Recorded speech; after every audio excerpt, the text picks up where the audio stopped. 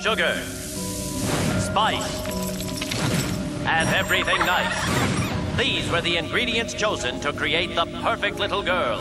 But Professor Utonium accidentally added an extra ingredient to the concoction Chemical X.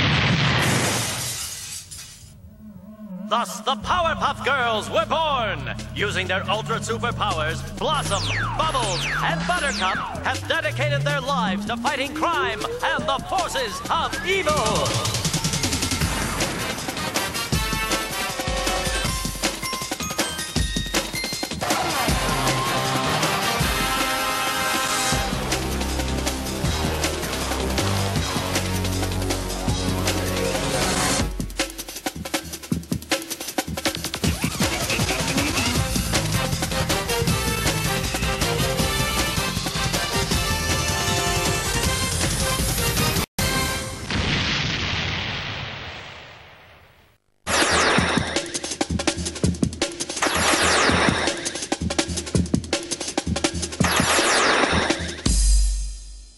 The city of Townsville. But enough about that. Here, at the Powerpuff Girls' suburban home, is where our story begins.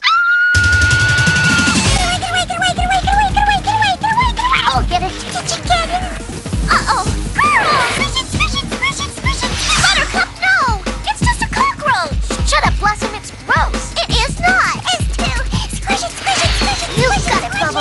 squished roach coming up.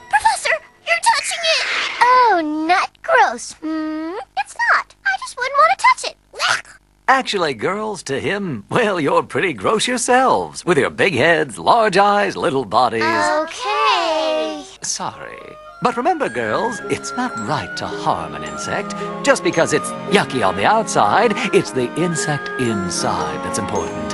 Now, who wants to touch it? Hmm. Something bugs me about that roach. The city of Townsville! I said that already. Sorry. Hi. The Powerpuff Girls?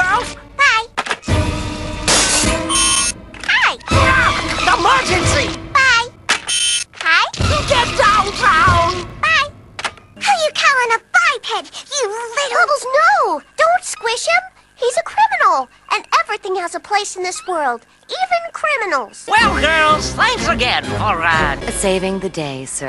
no, no, no, for saving the day.